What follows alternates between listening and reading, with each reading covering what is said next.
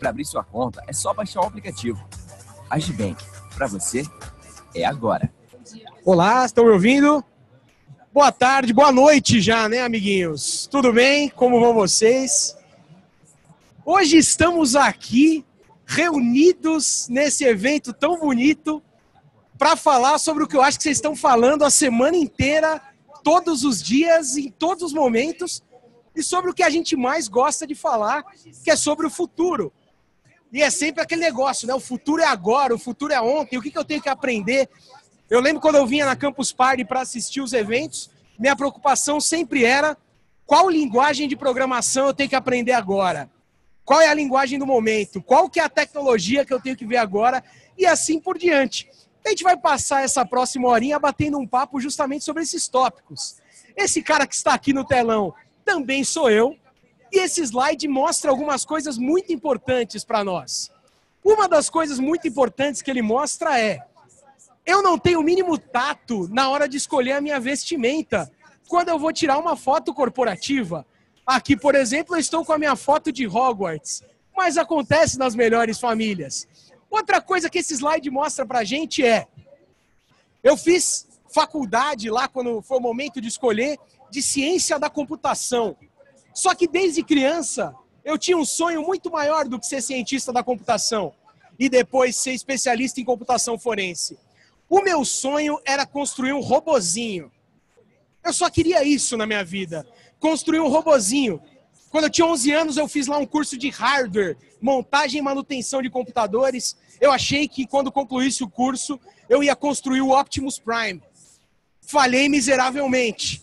Mas aí depois eu fiquei mais velho, eu fui escolher um outro curso na adolescência, eu fui fazer um curso de web design. Eu falei, agora eu vou construir um Optimus Prime. Foi uma ideia meio cretina, mas ainda assim eu achei que eu ia. Na hora de escolher o curso universitário, então, eu falei, essa é a hora. Não rolou robozinho. Graças ao bom Deus, hoje eu dou aula numa faculdade onde eu posso ensinar os meus alunos a construírem os robozinhos e participar desse momento tão bonito com eles. E a minha vida inteira eu cresci imaginando um robozinho dessa forma aqui. Era isso que o pequeno André queria. Pô, construir um C3PO, um R2D2. De vez em quando, cara, eu queria construir aqui um Agente Smith. E esses robôs todos, eles têm uma coisa em comum. Para quem cresceu observando a cultura pop e vendo como que eram os robôs retratados ali, perceberam que eles passaram de ser retratados de uma forma totalmente, com perdão da brincadeira, robótica, de uma forma totalmente dura, para uma forma cada vez mais natural.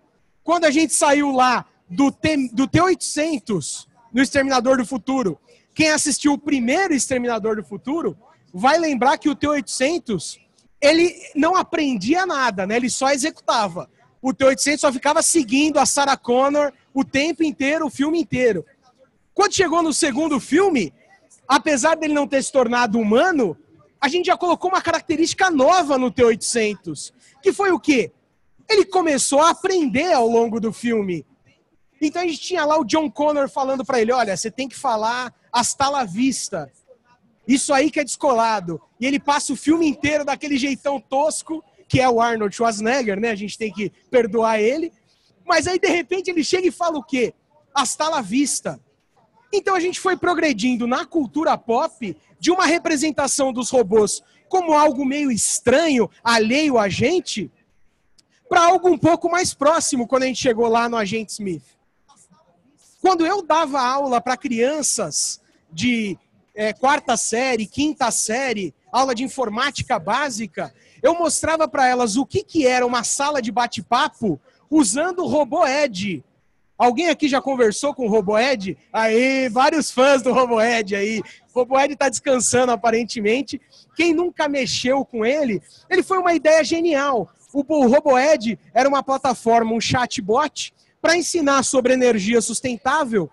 E você ia lá conversando com ele, era um negócio meio assustador, assim, quase que passava no teste de Turing que é aquele teste de quando a gente para de perceber que é com uma máquina que eu estou interagindo.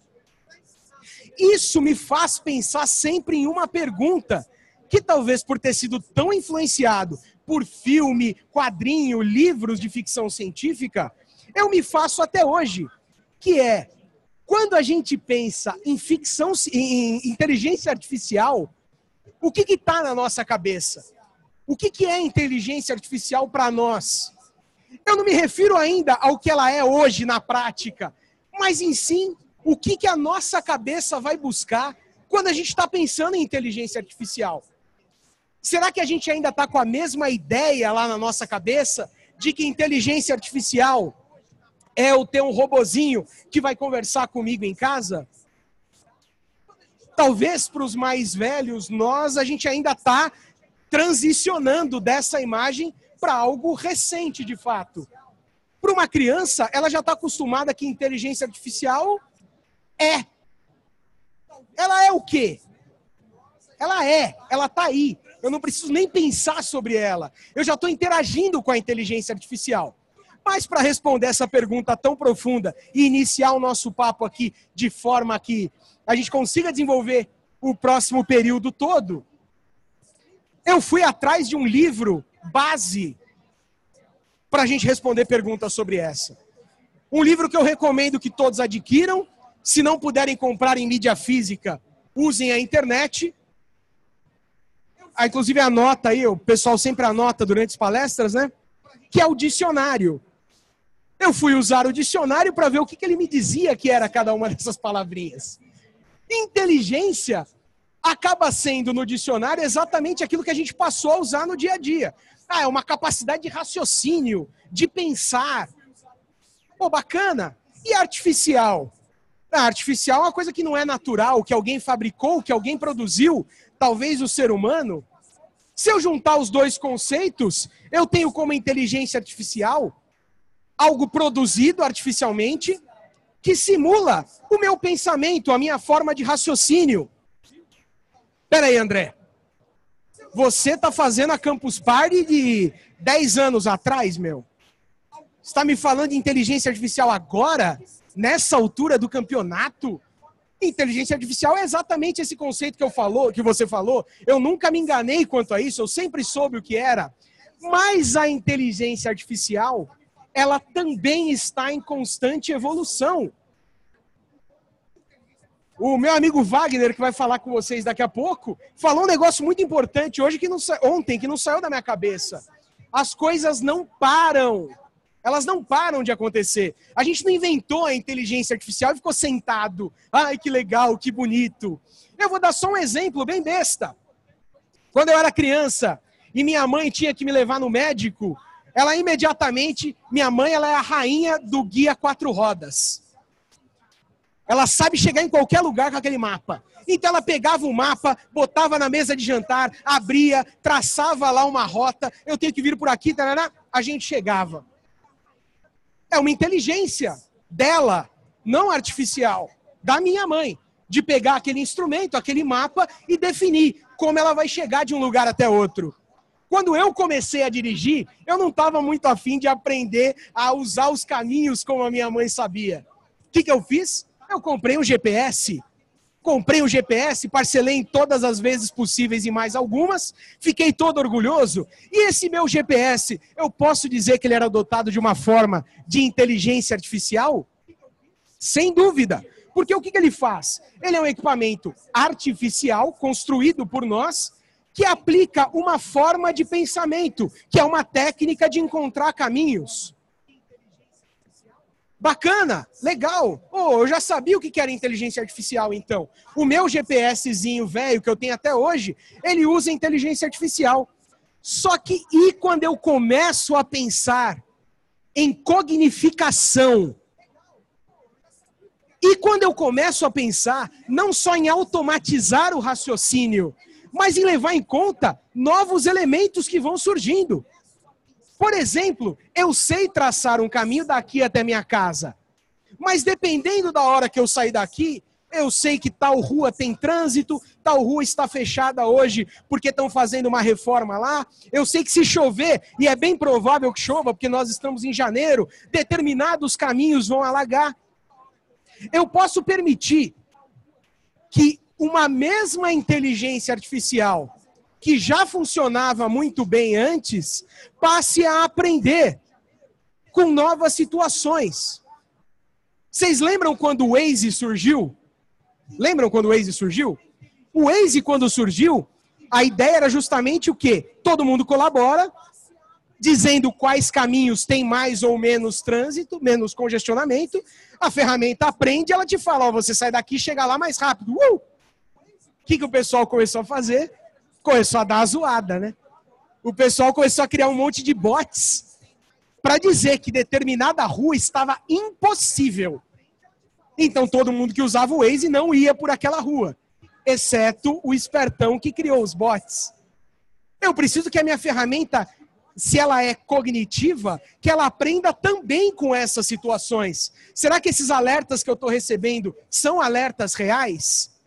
Será que o comportamento que essa pessoa tem é o comportamento de fato de quem está dirigindo? Não sei se vocês já foram totalmente surpreendidos pelo Google Maps, mas a primeira vez que ele quase me matou do coração foi quando eu peguei o meu celular, meu smartphone. Celular é coisa de velho, né? Peguei o meu smartphone e ele estava lá avisando: você vai chegar no trabalho em tantas horas. Eu falei, meu, mas eu não falei para ele que eu ia trabalhar. Não está na minha agenda que hoje eu estou dando aula de X a Y hora.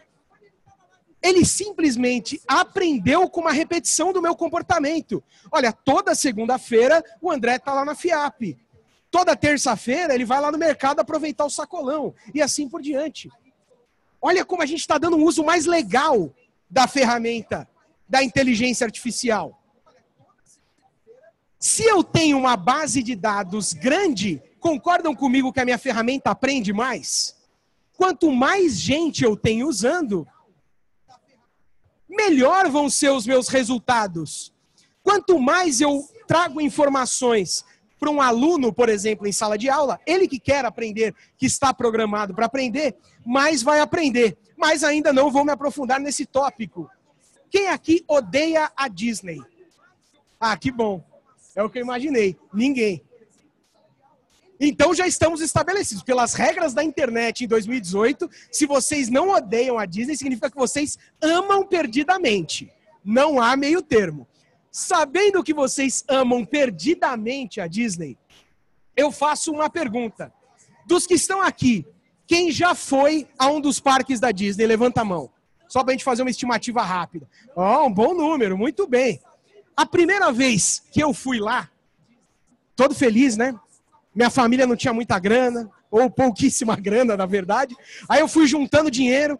Quando eu cheguei na idade adulta, trabalhava já desde a adolescência, eu fiz o que um adulto faz. Cheguei em casa e falei, eu vou para Disney. Comprei lá meu ingresso. Aí eu cheguei na Disney, no hotel, e me deram um cartãozinho desse aqui, ó. Falaram para mim lá no, no, na recepção do hotel. Olha, seu André, esse, esse cartãozinho aqui vai servir para o senhor abrir o seu quarto. Se o senhor quiser associar esse cartãozinho a um cartão de crédito, o senhor pode usar. Basicamente, eu sei que está bem longe, mas é um cartão de tarja magnética. Coisa mais velha do mundo. Quem já foi no shopping brincar com qualquer brinquedo eletrônico lá já usou um desse. Uns anos depois, já um adulto mais, né, mais adulto ainda, eu falei, agora eu vou fazer o que com o meu dinheiro? Eu vou voltar à Disney. Vocês verem como eu gosto. E quando eu voltei à Disney, na recepção me deram um negocinho desse aqui, ó. É uma pulseirinha, parece um relógio. E falaram para mim, senhor André, a gente está te dando aqui a sua Magic Band. Que bonito, o que, que é isso? O senhor vai acessar tudo o que o senhor quiser aqui na Disney usando essa pulseira. O senhor não vai ter que mais ficar carregando o cartão. Então eu chegava lá na porta do quarto, pup, chegava lá, queria fazer uma compra num parque, pup, eu queria agendar para ir num brinquedo mais tarde, pulseirinha. Para mim, usuário, cliente e fã da Disney, isso era o máximo. Porque eu tinha acesso a tudo com mais facilidade. A Disney não está fazendo nada aí por caridade e porque ela me acha muito bonito. O que, que ela vem fazendo ao longo desses anos? Usando Big Data usando sensores de diversos tipos, usando o sistema da Magic Band para rastrear o comportamento dos seus clientes, dos seus hóspedes. Olha que máximo! Sei que parece um cenário apocalíptico, que malvados que eles são, mas agora a Disney sabe quais brinquedos eu gosto mais de ir. Eu e todo mundo. Então, se for a hora de reformar alguma coisa, eles não vão reformar aquele brinquedo que ninguém vai. Aquele eles vão fechar. Se é a hora da Disney decidir, como eles decidiram recentemente, aumentar o preço dos ingressos em dias de máxima lotação, eles não vão fazer isso de forma leviana. Eles vão saber porque eles sabem que naquele dia vai estar assim. E o que, que eu tenho aqui? Imagina um ser humano lendo todos esses dados todo dia. Sem condições. Ainda que fosse um baita estrategista. Eu tenho a inteligência artificial, de novo, aliada à cognificação. Sabe o que a Disney já está testando e desenvolvendo? E eu achei o máximo? Câmeras para mapeamento facial que enxerguem no escuro para usar em sessões teste de filmes deles. Porque eu não sei se todos estão familiarizados, mas como Hollywood fazia até alguns anos atrás. Vai lançar um filme, eles fazem uma sessão de teste com algumas pessoas. No final da sessão, essas pessoas respondem a um questionário e eles veem mais ou menos como o filme foi percebido ou não. Para que, que eu vou fazer as pessoas responderem um questionário se talvez na hora de responder elas não saibam ser tão sinceras? Se eu posso mapear o rosto delas fazendo. Quando elas descobrirem que o Darth Vader é o pai do Luke. Muito melhor. E não é só a Disney que está fazendo isso, não. A gente está aqui, olha aí que prudente nós estarmos aqui no espaço com o logo da IBM aqui do lado. O Watson, que é uma baita ferramenta que a IBM vem desenvolvendo há sei lá quanto tempo, sendo aplicado em mercados financeiros. Será que o Bitcoin que acabou essa semana foi para o espaço? Quem tem Bitcoin aí, tamo junto, tô chorando também. Será que ele vai subir? Quanto tempo ele vai demorar para subir? Como as notícias vão impactar o aumento do Bitcoin, do dólar, de determinada ação? Inteligência artificial aliada à cognificação. E a Netflix? É uma coisa que a Netflix sabe. É fazer a gente amar demais o serviço deles, por mais que eles cancelem a série que a gente mais gosta. E por que, que os caras cancelam a série que você está esperando? É maldade? Ah, o André, no Brasil, está querendo muito ver a segunda temporada de Dark, vou cancelar. Não! Existem algoritmos trabalhando por trás disso para perceber como o público se relaciona com o conteúdo da Netflix. Isso não é o daqui a pouco. Isso é o agora. Está acontecendo agora. Não vai acontecer amanhã. E aí tem sempre aquela pergunta que o Wagner vai saber responder com muito mais propriedade que eu e falar para vocês com muito mais clareza do que eu estou falando aqui. Mas será que a inteligência artificial vai roubar os nossos empregos? Será que eu vou chegar lá um dia na FIAP e falar, ô oh, pessoal, cadê aí minhas aulas desse ano? Não, André. Na verdade, a gente tem aqui o Robotron 3000 e vai ser com ele que eles vão aprender. Será que é aquele papo que a gente ouvia quando tiraram os ascensoristas dos elevadores e falavam, não, todo ascensorista vai virar programador? Antes de dar um fim dramático para essa história e dizer que nós vamos perder tudo ou não vamos perder nada, eu queria trazer um último exemplo para vocês pensarem a respeito disso. Já assistiram O Senhor dos Anéis? É o mínimo, né? Junto com a credencial da Campus Party, a gente entrega a nossa credencial de nerd lá. Faz uma checagem de tudo que a gente viu e aí eles aprovam a nossa entrada. Quando os caras estavam fazendo os filmes do Senhor dos Anéis, Anéis se viram diante de um problema. O problema era: eu preciso fazer uma multidão de orques lutar com uma multidão de humanos, eu tenho algumas alternativas possíveis. Eu posso pegar lá um designer, começar a chicotear esse cara todo dia até ele produzir a multidão para mim. Eu posso fazer com fantoches. Acho que eles não pensaram nisso, mas fica a minha sugestão.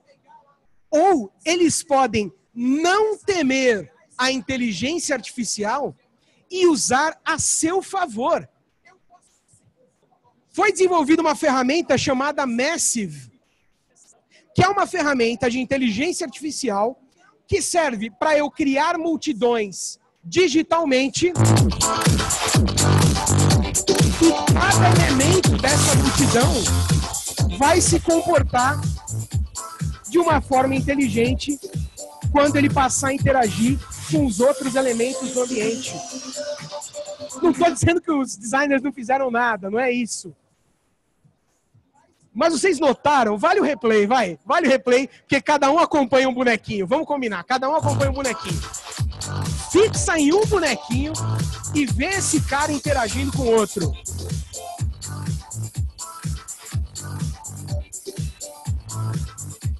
Sensacional. E aí, puxando de novo o que o meu amigo Wagner falou para mim ontem, vai falar para vocês daqui a pouco é: o futuro não para, senhor Wagner. O futuro não para. Os caras não sentaram. O Senhor dos Anéis foi lançado quando eu era apenas um filhote. Será que eles sentaram em cima do mestre e falaram: já está pronto, deixa quieto, sucesso para nós? claro que não. Os próprios caras da UETA hoje usam uma ferramenta específica para controle de multidões, não necessariamente em batalhas. Isso aliado à cognificação, quando eu tenho tantas imagens de multidões se comportando, é uma ferramenta, é uma chave de ouro.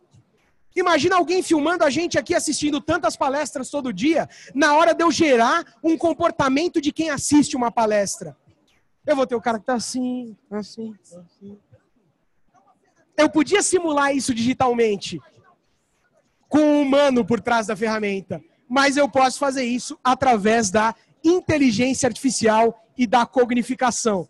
Agora que eu já deixei o Wagner vermelho, já passei um vídeo do, Messi, eu deixo um vídeo dele pulando de paraquedas. Wagner, vem cá para conversar com o pessoal sobre essa história aí. Valeu. Valeu, obrigado, André. Bom, pessoal, é, vou dar continuidade aqui na conversa do André, falando mais de, de A com vocês, mais de cognificação. Esse sou eu ali saltando de paraquedas, é, 50 segundos em queda livre, 200 km por hora. Quem não, nunca saltou de paraquedas, recomendo. Minha formação está ali, vou passar mais rapidinho, porque a gente tem pouco tempo. Meu doutorado foi em engenharia biomédica, fiz IA na PUC de Campinas, sou é, atualmente diretor da FIAP. Enfim, isso é um pouco do que eu gosto de fazer. E quando a gente fala de cognificação, eu falo que é uma inevitável disrupção. Por que, que é uma inevitável disrupção? Porque é inevitável, inexorável, irrevogável, inelutável, ou seja, algo que de fato vai acontecer. A gente quer queira, a gente quer não querer, vai acontecer isso. Fica a indicação para vocês, um pouco do que eu vou falar aqui veio desse livro do Kevin Kelly, que fala das 12 forças da, é, do inevitável.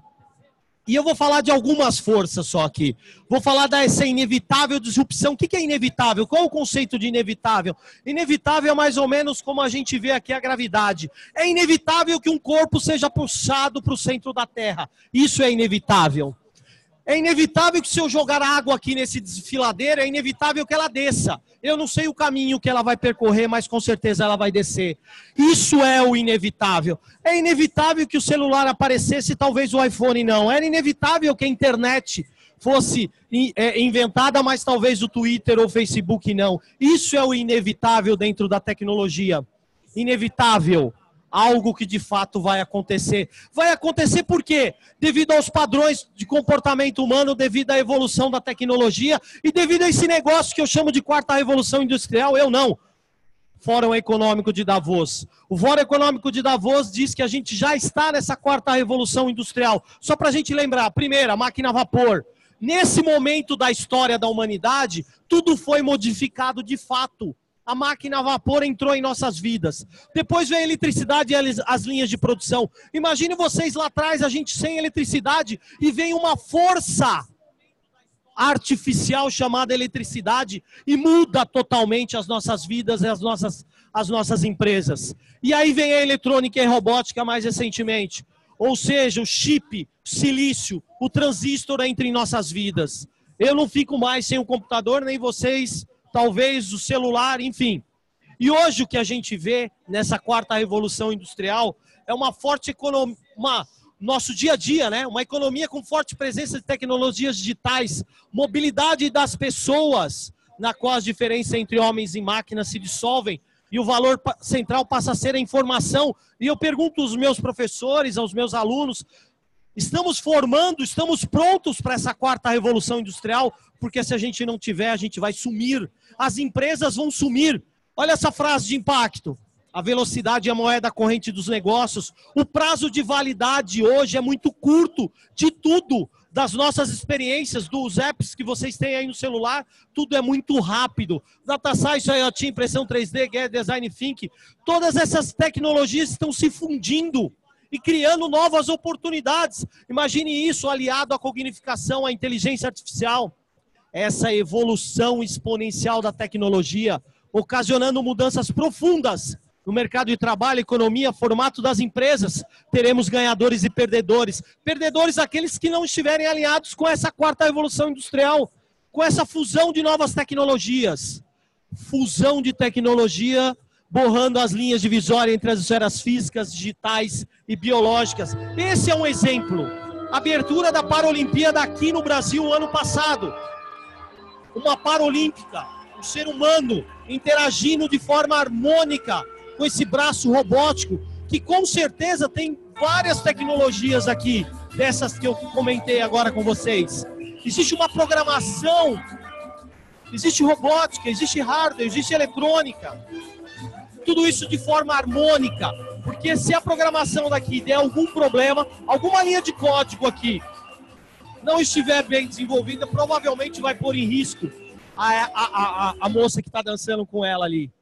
O fórum prevê a perda de 7,1 milhões de empregos, mas ele diz que 2,1 milhões vão ser criados em função dessas novas tecnologias, dessas novas demandas que as empresas já estão procurando, profissionais que estejam alinhados a essas novas tecnologias.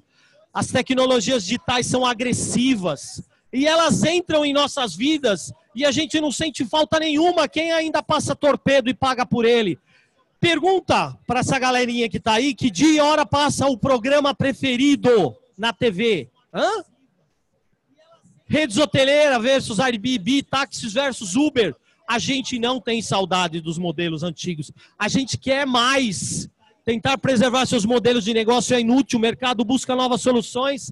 Clama por quebras de paradigmas, por novas experiências. E nós, e vocês? Se vocês estão aqui, com certeza vocês vão ser jogadores nesse processo. Senão não estariam aqui. Não, seriam, não vão ser, obviamente, observadores. Vão fazer a diferença nesse mundo, nessa quarta revolução industrial. E eu brinco com as pessoas normalmente que me ouvem e falo, ó, oh, como o André falou, a tecnologia não vai parar, ela mudou nossas vidas e vai mudar ainda mais. E uma pergunta que eu sempre faço: o que é tecnologia no seu íntimo? Me dá um exemplo de tecnologia. Com certeza vai ser diferente de uma pessoa para outra. Nas, depende do ano que nasceu, depende aonde nasceu. Eu costumo dizer que tecnologia só é tecnologia para quem nasceu antes dela. Querem um exemplo? Isso foi tecnologia para alguém algum dia. Outro dia eu virei para minha filha e falei: Filha, disca lá para vovó. Disca. O que, que é isso, papai? Ah, é que antes a gente punha o dedo aqui e girava esse disco. Nossa, que chato, e ainda tem fio. Mas isso foi tecnologia para mim. Isso foi tecnologia para mim. Jogar River Ride é o clássico, foi tecnologia também. Tem algumas pessoas sorrindo, não estou sozinho. Né, André? Obrigado aí pelo sorriso, porque eu sei que é um clássico. Didi na mina encantada. Se liga. Segurem os queixos. Ó. Mano, isso era sério. Isso aqui é o Didi, tá bom? É, valia paçoquinha, amor e tubaína. Pô, isso foi tecnologia para mim. Mudou a minha vida. Tecnologia, eu costumo dizer que ela é relativa. O telefone levou 75 anos para chegar a 50 milhões de pessoas. O rádio 38 anos, a televisão 13, a internet 4, o iPhone 3. O Insta 2 anos e o Angry Bird 35 dias. O Pokémon 15 dias. Provavelmente a geração que nasceu depois de 2010 não vai conhecer cartão de crédito, boleto e talvez nem sala de aula. Eles clamam por novos modelos, por essa quebra de paradigma, por tudo isso chato. E o que eu digo às pessoas que estão normalmente, que a gente conversa, eu falo, estão escutando? Esse é o som do inevitável algo que vai acontecer. Olha só as tecnologias apontando, olha o comportamento humano, olha as novas gerações, vocês já são velhos. Olha as gerações novas que estão chegando aí, a galerinha de 9, 8, 10 anos. Para onde eles estão apontando? Claro que nem todas as mudanças são bem-vindas, é claro que desmorona é, carreiras inteiras, mas é inevitável. É muito difícil você parar isso. Tentar conter o inevitável, o inevitável é em vão. O inevitável vai acontecer. Eu costumo brincar com meus alunos, falo, cara, você tem uma ideia, prototipa e lança essa ideia. Porque se você demorar, outro vai fazer e depois você vai pagar para usar. É inevitável a disrupção. E cognificação é inevitável. Ela já está entre nós. Kevin Kelly diz que a cognificação é igual ao processo de eletrificação que ocorreu alguns anos atrás, muitos anos atrás. Nós tínhamos um ferro a vapor que funcionava muito bem a carvão. E nós demos um poder artificial para esse ferro, inserimos eletricidade e ele ficou bem melhor. O que a gente está fazendo hoje é dar inteligência às coisas, deixar as coisas menos estúpidas, para que de fato elas funcionem melhor para nós, para que a gente fique mais eficiente. Talvez naquela época a mulher demorava muito mais tempo para passar roupa. Veio eletricidade, olha que espetáculo! Olha como eu estou mais eficiente. Esse é o conceito da cognificação. E quando você liga um interruptor ou vira a chave de um carro, você está invocando uma força artificial que você não tinha. A cognificação é o mesmo conceito.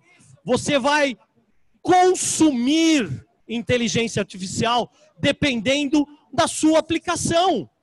Você vai desenvolver um app, você vai desenvolver um robô, você vai desenvolver um carro autômato, você vai consumir uma, uma cognificação que vai estar disponível, como você consome hoje o Wi-Fi aqui, o 3G e etc. Cognificar significa elevar uma coisa estúpida a outro patamar. Usaremos a IA em todas as áreas triviais do nosso dia a dia, como a gente usa eletricidade. A gente só sente falta da eletricidade quando ela falta. Não é isso? Ou a gente só percebe eletricidade quando ela falta? A inteligência artificial, a cognificação é o mesmo conceito. Nós já estamos usando isso. Aí, pergunto para vocês: cognificação aliada, robótica, DNA, sequenciamento, biotecnologia, impressão 3D, Big Data, IoT, Data Science, nanotecnologia. Olha só quantas ferramentas estão em nossas mãos para solucionar problemas, para deixar a nossa vida mais agradável, a nossa vida mais gostosa, para nos deixar mais eficientes. Não é à toa que os grandes players de, de tecnologia estão numa corrida absurda, com pesquisas, com investimentos altos, para dizer quem vai ser o grande provedor de, de inteligência artificial. Vocês devem conhecer aí os vários, uh, os vários frameworks aí, IBM, Google, é, Facebook, todos esses. Amazon. A gente tem uma parceria muito grande com a IBM. Outro dia nós fizemos um workshop lá na FIAP em três horas. Eu participei, criei um, no Message um chatbot com o Watson. E eu digitava no meu primeiro, na minha primeira interação com ele, qual é o saldo da minha conta? Ele me dizia. Aí depois eu perguntei, tem o din-din na conta? Ele, what? O que é din-din? Eu disse, din-din é saldo. Ah, ok, você tem saldo. Tem o cascalho? O que, é cascalho? E eu ali em três horinhas, o meu chatbot aprendeu o que é din-din, o que é cascalho e assim por diante. E aí a gente usa, por exemplo, a IBM, com o Watson, lançou um livro de receitas, criado pela uma inteligência artificial. Para que eu preciso ficar pensando em receitas se esse cara aí tem um, uma quantidade imensa de dados na internet de várias pessoas? Esse site aqui você diz o que você tem na cozinha, na parte de cima ele diz os pratos que você pode fazer. É... Deixa eu ver aqui. Esse aqui é uma solução da IBM. Eu não vou deixar passar todo o vídeo, mas se tiver afim, dá uma pesquisada. Na Pinato, Pinacoteca de São Paulo, eles desenvolveram uma solução para deixar a visita à Pinacoteca mais gostosa, mais prazerosa. As pessoas podem conversar com a obra. Pô, por que, que tem um pé de bananeira nesse quadro? E a obra vai falar com ele. Louco, né? Porque essas artes eu entendo mais. Ah, esse aqui, o Morgan. O André deu alguns exemplos de alguns filmes nerd. Eu sou mais da linha do Ex-Máquina, Morgan. Esse aqui fica, fica a recomendação para vocês, fala de DNA sintético. Mas eu não vim falar do filme, eu vim falar do trailer que o Watson criou. Ah, quer dizer que ele assistiu todos, assistiu o filme inteiro, selecionou as melhores cenas, tá aí. Não deu nenhum spoiler, criou um, um, um trailer. Sim, é isso mesmo, esse é mais ou menos o conceito. Então ele criou, desenvolveu um trailer. Esse é um é TEDx com o Watson, você coloca uma pergunta e ele te responde através de vídeos, mas não o vídeo só, ele te dá minutagem. Então, para aquela sua pergunta, a resposta está nesse vídeo, do minuto tal ao minuto tal. Ah, ele assistiu todos os vídeos do TEDx? Mais ou menos por aí. Ah, esse aqui é o Dino. O Dino, simples brinquedo, via Wi-Fi conecta ao Watson e você, por exemplo, consegue fazer com que um aprendizado aconteça com as crianças através é, do Dino. Olha lá. A que distância está a Lua? A Lua está a 400 mil quilômetros aproximadamente. Eu quero essa cara aqui. Isso é inteligência artificial fazendo diferença nas nossas vidas, na vida dessa criança, por exemplo. Nadine, uh, robô lá da Universidade de Singapura. Não sei se vocês já viram, mas ali, criadora e criatura juntos. Brincadeira, pessoal. Essa é a professora que desenvolveu, chefe aí do projeto desse robô da Universidade de Singapura, onde esse robô interage com as pessoas. Ele lembra da última conversa que ele teve com, a, com os estudantes ali da Universidade de Singapura.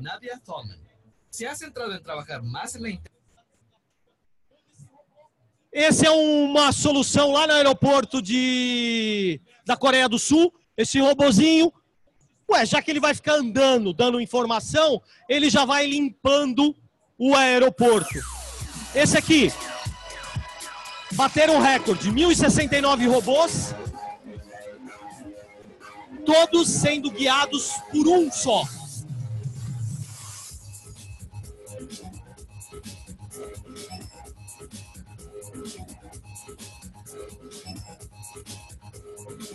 Imaginem se tivesse dois metros de altura cada um desses robôs e eles estivessem vindo por aquele caminho.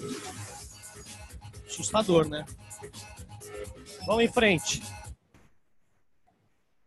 Esse aqui eu acho que vocês já viram, mas é um dos robôs mais é, é, avançados nesse sentido. E, e, o mais legal disso tudo, é, ele identifica os obstáculos. Dentro dessa solução existe um machine learning que, claro, as primeiras vezes ele caiu. Quantas vezes ele não tentou fazer isso e deu errado? No momento que ele conseguiu, ele aprendeu. E ele pode repetir isso agora quantas vezes ele quiser. Por quê? Porque está no software. Está no, no, no, no banco de dados dele. Esse aqui vocês viram lá em Las Vegas agora, em janeiro, né? A Sofia. Saiu em todos os jornais.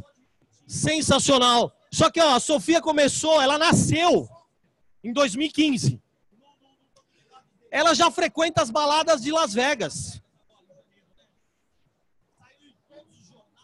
Oi, aqui é Sofia. Não sei bem o que realmente significa ser humana. Acho que vai levar algum tempo para entender todos vocês. Talvez vocês me ensinem como ser humana ao longo do caminho. Ela vai aprender. Certeza. Aí o selfie. Bonita, né? Ou bonito, não sei, é robô. Aqui é ela e um jornalista alemão num carro autômato. E ela foi inspirada na bonequinha de luxo, nesse filme da década de 60. Galera, a Sofia tem três áreas dentro do, do cérebro dela. Se é, é assim que a gente pode dizer. Ela tem uma área para resolver proble problemas simples. Tá calor, tá frio. É, lógica muito simples. Depois tem um banco de dados com frases pré-carregadas. Até aí, beleza? Escolhe a melhor frase, dependendo da interação que ela tem e executa. E a última parte é um chatbot com IA, que analisa, inclusive, é, é, o rosto com o qual ela está conversando. Então, se o cara está triste, ela pergunta por que você está triste? Porque através da análise das câmeras que tem nos olhos dela, ela consegue identificar as suas expressões. 62 expressões esse robô tem. Isso aqui é uma representação das várias inteligências do nosso cérebro. Eu falei que a Sofia tinha três. Estão chegando lá. Ah, e ela recebeu a cidadania da Arábia Saudita. Ela é cidadã saudita. Bom, né? E por que ela fez sucesso agora em, Las Vegas em janeiro? Porque ela ganhou as pernas, ela não tinha as pernas. E aí ela deu uma entrevista. Vou deixar um pouquinho a entrevista para vocês verem. Hi there. Everything is going extremely well. Do you like talking with me? Yes, talking to people is my primary function. Hanson Robotics develops extremely lifelike robots for human robot interactions. We're designing these robots to serve in healthcare, therapy, education, and customer service applications. The robots are designed to look very human like, like Sophia, I'm already very interested in design, technology, and the Enquanto environment. vocês vão lendo aí, like I can Vou falar um pouquinho. É, era inevitável que um robô desse fosse lançado. Por quê? Primeiro, pelo comportamento humano. O- André mostrou uns filmes, até um pouco antigos, que, pô, no nosso imaginário, eu quero um robô, eu quero um robô, eu quero um robô. E hoje, a gente já tem tecnologia para isso. Então, aliado aí a nosso comportamento, ao nosso desejo, as tecnologias se fundindo, era inevitável que um robô desse fosse inventado. Talvez não Sofia, poderia ser Maria, poderia ser, sei lá, mas era inevitável, tudo apontava para esse desfecho. Eu quero deixar a última frase dela ali, acho que vai dar tempo. I do believe that there will be a time where robots are indistinguishable from humans. My preference is to make them always look a little bit like robots, so you know. 20 years from now, I believe that human-like robots like those. 20 will walk anos, o They will criador da help us. Sofia diz que os humanoides vão estar entre nós. Ajudarão Os humanos farão companhia, as pessoas sozinhas. Please say no. De repente vai. Vai. Ela estava dando a entrevista, ele perguntou: é, Você não vai destruir os humanos? É, talvez, é, acho que eu vou destruir os humanos. Bom, essa é uma, é uma produção nossa lá da FIAP. Aqui eu tenho robôs de telepresença. Isso desenvolvido pelos nossos alunos junto com os profissionais do Hospital Oswaldo Cruz, onde a ideia é que esses robôs estejam em hospitais espalhados pelo mundo inteiro e você possa visitar seu ente querido em qualquer parte do planeta, se conectando a um robô desse que pode estar no hall de um hospital. Ou se você tem um doente em uma ala onde o ser humano não pode entrar, o robô vai poder entrar. É só você se conectar a ele. É, neurohacking é inevitável? Pô, Wagner, mas como assim inevitável neurohacking? Eu vou dar um exemplo só para vocês. Olha só, a velocidade de humano para humano, humano para o computador, é muito analógico eu passar informação para o meu note e receber. É extremamente lento. Computador para humano, computador para computador, computador consigo mesmo. É inevitável que a gente tenha uma outra forma de se comunicar que não seja a fala tão analógica e tão lenta. E aí entra o neurohacking. Esse cara do Pentágono disse: a comunicação de cérebros e máquinas hoje em dia é como a conversa de dois su- supercomputadores ligados pelo modem lento. O pessoal mais velho vai lembrar. Aquele modem lento. Vamos lá. Toda interação entre neurônios cria uma minúscula descarga elétrica. Todos vocês aí estão emitindo uma minúscula descarga elétrica que pode ser medida. Por quê? Porque os seus neurônios estão é, é, provocando sinapses. Vocês estão fazendo sinapses com o aprendizado, seja ele qual for, até meio dormindo, você solta a descarga elétrica. E se essa descarga elétrica puder ser medida? Hoje já é medida, é medida desde 1940, se eu não me engano, com o primeiro eletrocefalograma. E se a gente conseguir um gadget desse, que eu coloco aqui na minha testa, mais na minha orelha e faço aterramento, e consigo pelo menos medir o padrão estabelecido pelos meus neurônios. Eu consigo, de repente, interpretar isso e fazer com que isso gere algo, movimente algo. E o que, que os japoneses fizeram? Botaram umas orelhinhas ali. E no momento em que a moça estiver animada, estiver concentrada, ela vai estabelecer um padrão e vai gerar, através das descargas elétricas, uma forma que pode ser lida.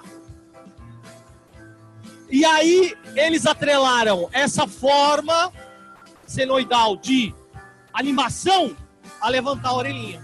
Quando ela relaxa, o seu padrão muda e a orelhinha baixa. Certo, Guilherme?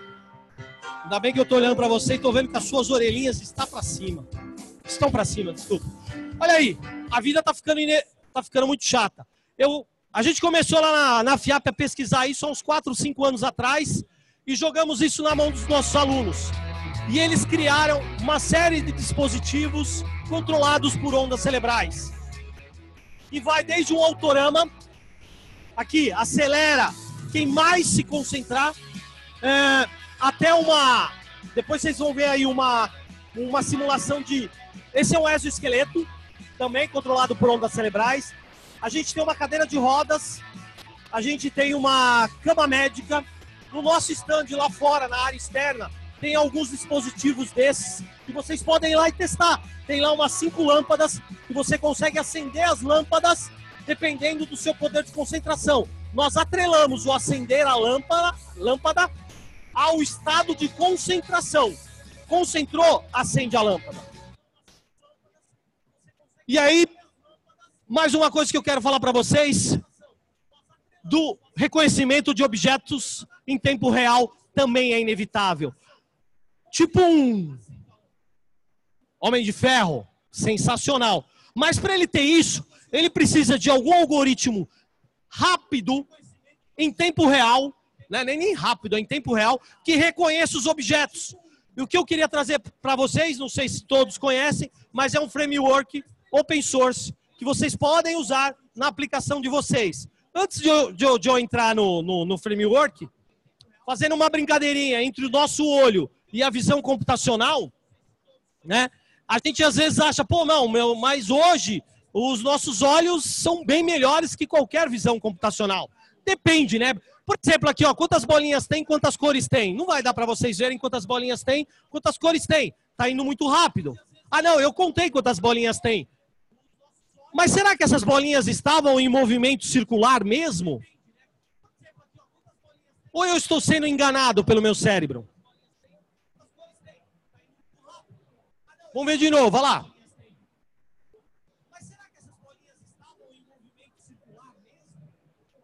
Provavelmente uma visão computacional teria percebido isso. E aí, quando eu falo de visão computacional, eu estou falando de detectar objetos, sim, em tempo real e distinguir, por exemplo, um cachorro que está ali de um gato. Há 10 anos isso era impossível. Há 10 anos eu não podia criar um carro autômato ou um, um dispositivo para auxiliar um deficiente visual, porque eu não tinha essa tecnologia. Hoje, eu consigo isso com 99% de precisão e em tempo real. Ah, mas aí eu estou usando inteligência artificial? Sim, você está usando machine learning. Quanto mais você ensinar a sua rede, mais ela vai ficar melhor, mais ela vai interpretar objetos em tempo real e não vai errar. Galera, falando de inteligência artificial, só rapidinho. Na minha época, eu, te, eu tinha que programar tudo. Eu entrava num código, num, no, ia desenvolver um, um software, não tinha nem app, tá? Eu tinha que desenvolver linha a linha, testar linha a linha. Então eu entrava lá no meu Clipper, eu entrava até no COBOL e desenvolvia a minha solução. Galera, sabe quantas linhas de código tem, por exemplo, um sistema operacional de um celular? Mais ou menos 12 milhões de linhas. E aí eu começo pela primeira linha. Se estiver quente, diminui a temperatura. Se estiver frio, aumenta a temperatura. Imagine codificar tudo isso. Claro que os engenheiros de software ganham muito bem para isso. É claro que a demanda por programadores aumenta cada dia. Mas o que a gente está vendo com o IA é que isso pode ser produzido pela própria IA. Ao invés de eu programar todas as minhas regras e dizer todas as consequências, todos os ifs, todas as condições, eu simplesmente mostro padrões para essa rede e ela vai aprendendo, ela vai criando as regras, ela vai criando as exceções. É assim, esse é mais ou menos é o conceito de machine learning. Ela automaticamente aprende, eu não tenho que ficar codificando e, encontrando todas as regras possíveis de, um, de, um, de uma aplicação. Isso aconteceu com o AlphaGo, que venceu é, o maior campeão daquele jogo Go. Acho que vocês ouviram falar. É, é, é um jogo mais complexo que o xadrez. O que, que a Google fez? A Google mostrou milhões e milhões e milhões e milhões de jogadas, mostrou para o software AlphaGo. E o, o software AlphaGo ficou melhor que o jogador, porque ele aprendeu. Voltando para cá, Darknet, é, é um framework open, criado lá pela Universidade de Washington. Esse foi o carinha que desenvolveu. O que ele fala? Ele fala: usem, abusem, criem soluções com o meu algoritmo que faz identificação de objetos em tempo real. Muito simples de você baixar, só entrar ali naquele site ali. O Iolo. Você, que, que, qual a sacada do cara? Ao invés né, o que se fazia para interpretar objetos até então? Dividia as imagens em pedaços, passava pela rede neural e depois juntava tudo isso e fazia isso várias vezes.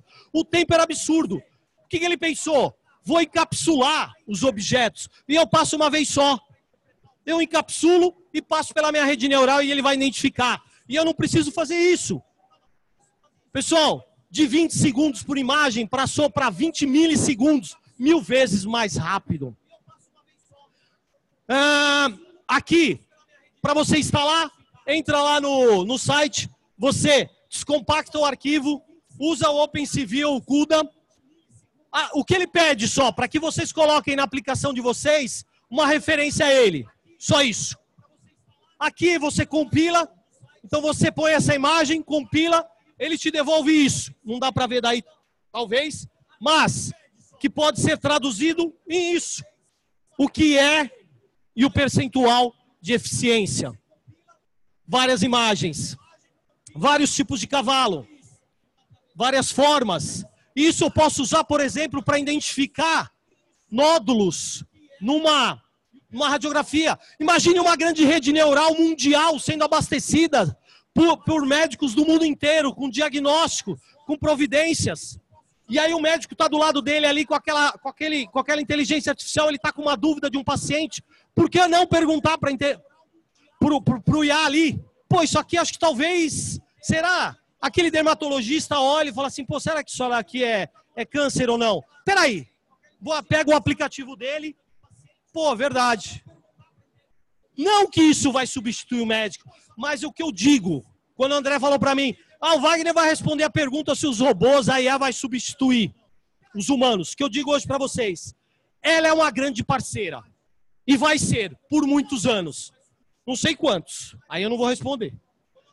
Mas a zero minutos ela vai nos deixar e, e já nos está deixando muito mais eficientes. Nós estamos muito melhores do que nós éramos. Com o celular no bolso, com o carro autômato e assim por diante. Isso aqui é um artigo científico que o pessoal usou esse software para levantar, para fazer o censo de um zoológico nos Estados Unidos aplicações em carro autômatos, deficientes visuais, diagnósticos de patologia, enfim, o céu é o limite. Olha uma aplicação aí um filme.